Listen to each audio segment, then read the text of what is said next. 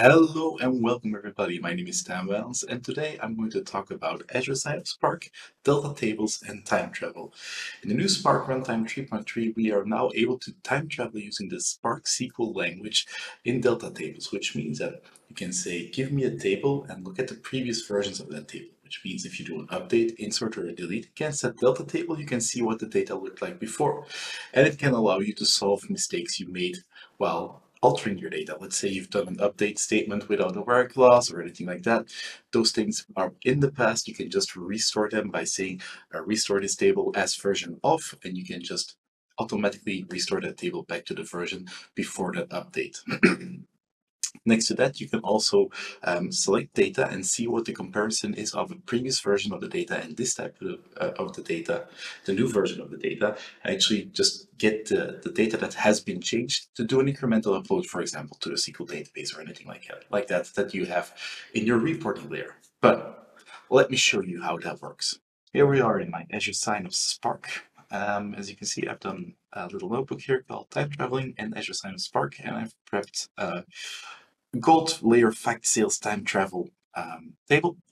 Um, as you can see here, it's a normal table, nothing special here.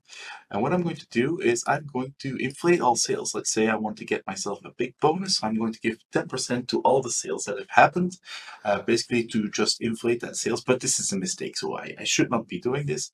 Uh, but it happened. I did that, uh, that update.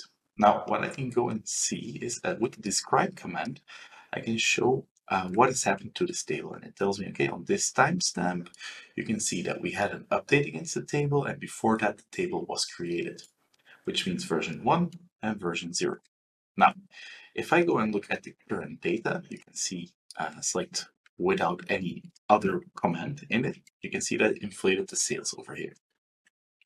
If I now want to go and look what the data looked before that update I can go and say uh, version as of 0 and it will show me the data like it was before. As you can see here, we've got 9.8 here for sales ID 1 and 8.25 here for sales ID 1. So it is basically the two versions of the data that we see here. Now, let's say version 1 is wrong. I want to restore back to version 0.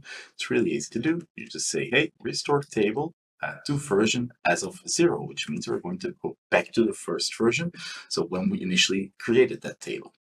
What will happen is can see over here, it, if we look at the describe, it will have the initial one, which is at zero, the one which had the update, and the version two is the restore. Now, can we still read that data of that update? Um, yes, you can by using the version as of one, but if you select the current version, you can see that it went back to that old sales value, and the version as of one is to that inflated sales amount. But that's how you basically work with those uh, different versions inside uh, Synapse Spark.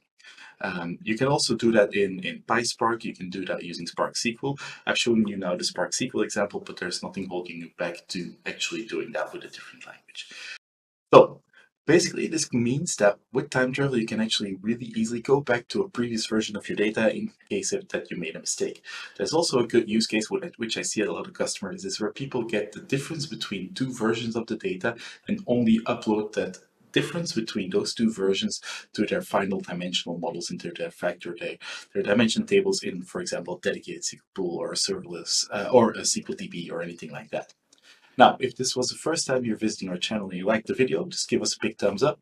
Um, if you like to if you like to see more of this uh, content, we have loads of different uh, videos on here. Just subscribe to the channel. Uh, and if you have any other questions, just write it in the comments and we'll definitely get back to you. As always, from the Synapse Espresso team, this is Stijn, and thank you for watching. Bye.